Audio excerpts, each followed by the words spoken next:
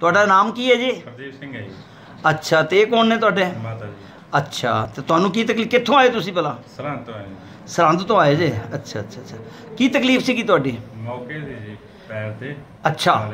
ਅੱਛਾ ਕਾਲੇ ਜਿਹੜੇ ਮੁੱਕੇ ਅੱਛਾ। ਤੇ ਮੈਂ ਡਾਕਟਰਾਂ ਨੂੰ ਦਿਖਾਇਆ ਕੌਰਨ ਕਹਿੰਦੇ ਆ ਕੌਰਨਸ ਕੌਰਨਸ। ਹਾਂ ਹਾਂ ਹਾਂ। ਮੈਂ ਕਈ ਡਾਕਟਰਾਂ ਨੂੰ ਦਿਖਾਇਆ ਕਹਿੰਦੇ ਸੀ ਵੀ ਕੱਢਣਾ ਪਊਗਾ ਆਪਰੇਸ਼ਨ ਕਰਕੇ। ਅੱਛਾ ਅੱਛਾ ਅੱਛਾ ਅੱਛਾ। ਅੱਛਾ ਫਿਰ ਮੈਂ ਡਾਕਟਰ ਗੁਲਾਟੀ ਕੋਲ ਗਿਆ। ਅੱਛਾ। ਅੱਛਾ। ਤੇ ਉਹਨਾਂ ਨੇ ਤੇਲ ਦਿੱਤਾ ਸੀ ਤੇ ਉਹ ਲਗਾਇਆ ਮੈਂ। ਅੱਛਾ ਤੇਲ ਦੇ ਨਾਲ ਹੀ ਅੱਛਾ ਤੇਲ ਲਗਾਉਂਦੇ ਰਹੇ? ਹਾਂਜੀ ਹਾਂਜੀ। ਕਿੰਨੀ ਕੁ ਵਾਰੀ ਲਗਾਉਣ ਲਗਾਉਂਦੇ ਰਹੇ ਤੁਸੀਂ? ਦੋ ਵਾਰੀ ਦਿਨ ਚ ਲਾਉਂਦੇ ਜੀ ਸਵੇਰੇ। ਅੱਛਾ ਅੱਛਾ ਅੱਛਾ। ਤੇ ਕਿੰਨੇ ਦਿਨਾਂ ਚ ਫਿਰ ਚੜ ਗਿਆ?